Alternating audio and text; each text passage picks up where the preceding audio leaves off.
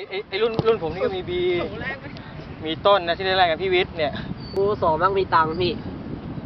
ถ่ายคลิปอยู่อ้าวถ่ายคลิปซะอย่างนั้นกวินครับ วันนี้ไม่ไปเตะกับเมืองทองเหรอครับ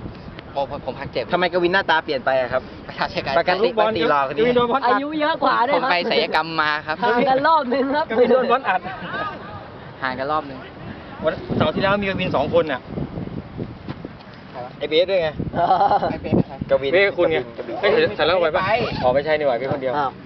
เฮ้ย โอ้โห นี่ อย่าดูถูกคนมีอายุ